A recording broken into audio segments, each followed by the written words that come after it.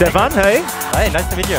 Now I said Steffen and Marc. Uh, Marc. Where is um, Marc? He said he want to pick up something. Ah, here he is. Ah. Yo, yeah. Hey there, Marc. Hey, Hey, welcome. Well, guys, enjoy enjoy your presentations. Thank you, Chris. what a nice e-scooter, Marc. Yeah. It's really surprise, nice surprise. to- It was a year ago or so we talked about, and now you already ordered one.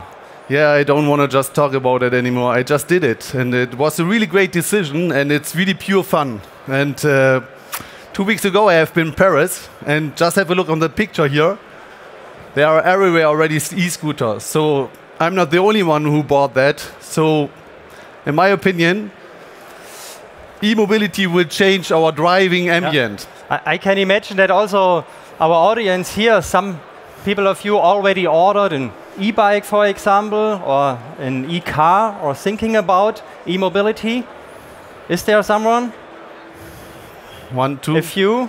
At least they are discussing it daily or thinking about to buy one. Yeah, and it's getting Well- more and more. Uh, people change to e-mobility's e-vehicle. Exactly. Yeah, and that at the end will increase the demand of the battery cell factories because the core of each e-vehicle is the battery. It's a small piece. Okay, this is not uh, not a big one, so it's not uh, big enough for an e-car, for example. we need at more than an e- Huh? We need thousands of them, and um, yeah, we are here to present solutions to create a better battery, present innovative solutions for battery manufacturing. My name is Steffen Weber. I'm heading a marketing team of machine building, and with me is Marc. Yeah, Marc Deyda. I'm doing the global battery business development. Batteries are needed, and today, one thing is a fact. Today, we do not have enough gigafactories all over the world. And before we come to the solutions we provide for battery manufacturing, first, pick out the challenges which arise. Because it's a challenge not only for, for startups, also for established companies to upscale their production for the need of battery cells in the future. And other challenges arise. Yeah, as we know, if a new technology is rising up, so uh, we need more material. And uh, especially in the battery, there are chemical processes and they need raw materials. And we from Siemens would like to already reduce the use of raw material to keep it also for our upcoming generation safe. Yeah.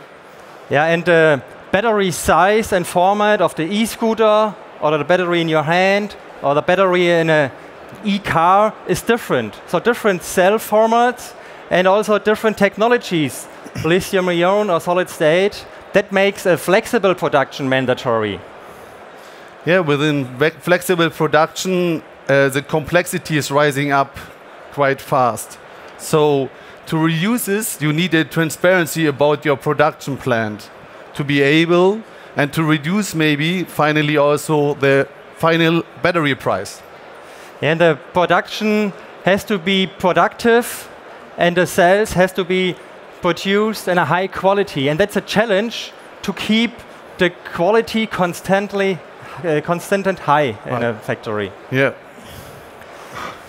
High quality means also good battery. So we from Siemens start already in the product development. So when you talk about designing a battery, we already talk in the electrochemical composition.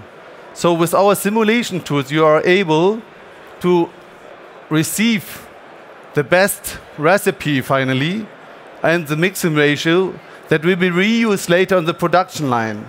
So this will reduce already the raw material or even maybe avoiding using critical ones like cobalt. huh?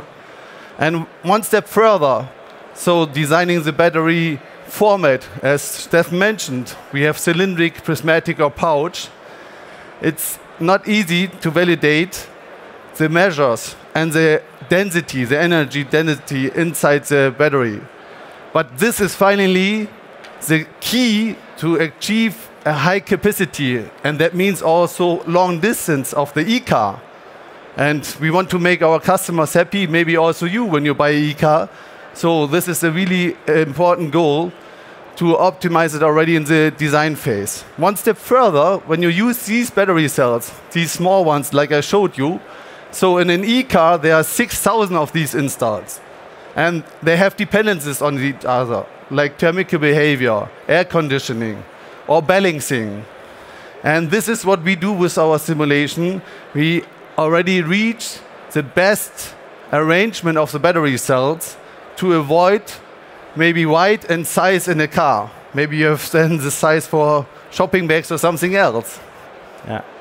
And using the data from the product design, the data can also be used for the machine design, the machine production produce the battery cells.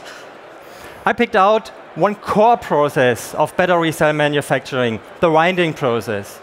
And with the help of the digital twin of the machine, the optimum mechanical behavior can be engineered, also the kinematics for that process.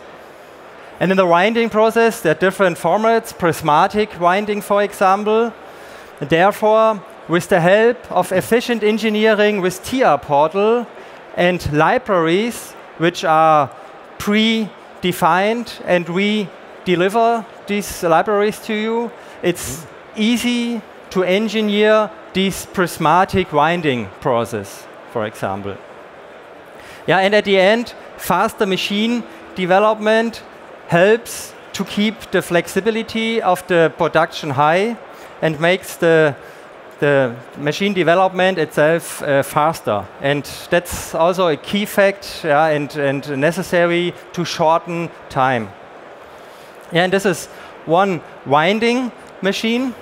Yeah, and um, I guess one winding machine is not enough. No, for sure not in a gigafactory. I don't know. Do you think? Do you know how many winding machines are inside in a gigafactory? What do you think? 20, 40, 200 thousands? No, but there are more than 60 winding machines installed in a gigafactory, coating, assembly, and calendaring. So there are a lot of different processes within a battery production line, and that means it's a complexity, and you have to handle it already before building it in real. And this is what we do with our plant simulation. Uh, we support the customers, our customers, you, with the planning of the whole plant and the dependencies on the processes. So the material flow can be optimized, the energy consumption of the machine. And finally, you will get a map that you also reuse then to build system architecture of the automation, for example. This is a really benefit and reduce finally also the risk of your investment and secure it. And this is important. One step further, when we're coming to real production, because this is still virtual, but we want to produce in real, because just real counts. We use this plant simulation model with the system architecture to develop machine modules and interfaces and parameters that can be defined with our standardization. So you use it to have a faster machine integration and also to optimize the whole processes together. This will have impact finally also to be deliverable. For example, nobody is waiting five hour years for a car. So the process stability, we keep it under control and the operators have always the transparency about the whole production. But I don't know, when we figured out there is an instability in the process, Steffen, would you be able to optimize it? For sure, we can. oh my God. I have, I have one example here. The, the whole process of battery, battery fan, uh, manufacturing, yeah, is there are there are different um, detailed process. One process is the winding process, and we have one example to keep the performance of the real winding machine high and to have an optimized and a continuously optimization.